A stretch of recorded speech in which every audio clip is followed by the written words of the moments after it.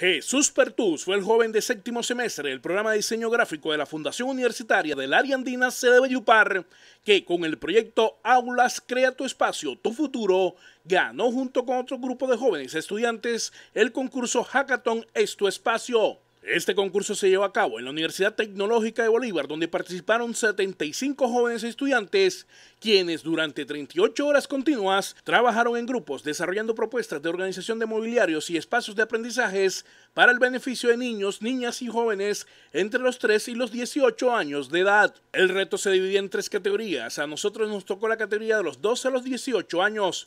El grupo estaba conformado por jóvenes de diversas universidades del país nuestro proyecto trataba de buscar la comodidad y la funcionalidad de los espacios académicos, haciendo del aula de clases una experiencia positiva para el estudiante, señaló Pertus. El Ministerio de Educación Nacional, ICTES, la Universidad Tecnológica de Bolívar, SENA y la Organización de Estados Iberoamericanos, OEI, fueron los precursores de esta actividad que buscaba fortalecer y satisfacer las necesidades en materia de educación de comunidades estudiantiles. Las propuestas más innovadoras fueron las ganadoras de este reto.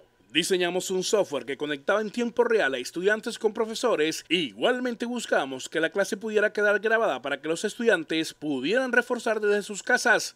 Diseñamos sillas modulares que podían acomodarse según la necesidad del estudiante, tratando así de innovar en la forma tradicional que se dan las clases, afirmó Pertus. El reconocimiento de los ganadores se dio en la clausura de la segunda cumbre de la Misión Internacional de los Sabios, un espacio propicio para resaltar la creatividad, teniendo en cuenta el trabajo que viene realizando el grupo de académicos e intelectuales que hacen parte de la misión que trabajan en impulsar el desarrollo del país en materia de ciencia, tecnología e innovación.